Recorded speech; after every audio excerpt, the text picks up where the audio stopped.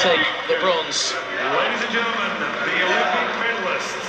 Señoras y señores, There will be time for some photos and there'll be plenty of those around as well. They just came up with a big play when it mattered. There was a big winning margin in the, the World Championships last year in Kazan and, and they've done it again with another great margin here. Yeah, they have. Uh, they've hung in there for a fair while up until half time, but the three goal margin then started to extend and the big plays were always theirs. The Italians, they'll be very pleased with this.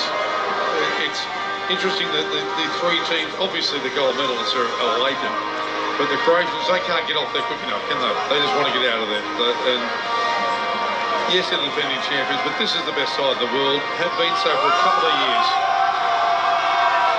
I mean, how much of Croatia suffered from that, the loss of Petkovic as coach? Obviously, he turned up with Brazil, but is there a feeling that maybe he was the, the main man, the driving force oh, behind them? Yeah, look, I think when Rudic went, I, I think there was a feeling that he probably would go, uh, given his age.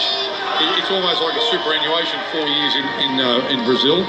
And whether he'll coach again, I don't know. Maybe he will. But to lose Fatovic as well, I thought it's just cut the heart out of, out of their coaching. I think the coach has done well to go from junior level to coach at this level and, and to get them to a silver medal game. All said and done, though, I don't think Rudic makes any difference to the, to the outcome of that match. The other side right now is just a little better, and they've got the, the, the greatest player in the world, and their goalkeeper tonight was outstanding as well. We just see the, the, look on the Italians' faces, as we mentioned there in the, in the, ceremony. You know, they've had the euphoria of beating Hungary to win a medal as such, and it's more a question maybe that Croatia have lost a medal as opposed to winning a silver. Abs absolutely, there's, there's, there's, no doubt about that. And uh,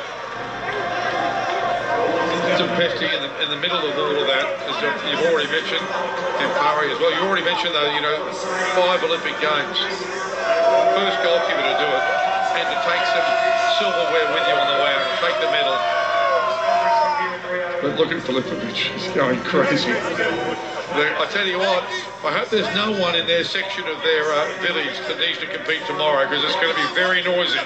Yeah, I think they'll enjoy a, a, nice evening this evening. It may well be their last evening here, of course. Not too sure when they'll be flying out of here. They may well be staying around for the closing ceremony. But it's been a fitting end to what's been a fantastic water polo. And over the last couple of weeks, you know, we've seen some great play in the men's and the women's competition. Yes, we have. And I think rightly, the two best sides have won. Sometimes you'll, you'll see those upsets, but look, the Americans, they, they really did school the Italians yesterday. They were way too good. And the best side here is one, and uh, that's the Italians on screen at the moment. And they're mighty happy with their bronze medal.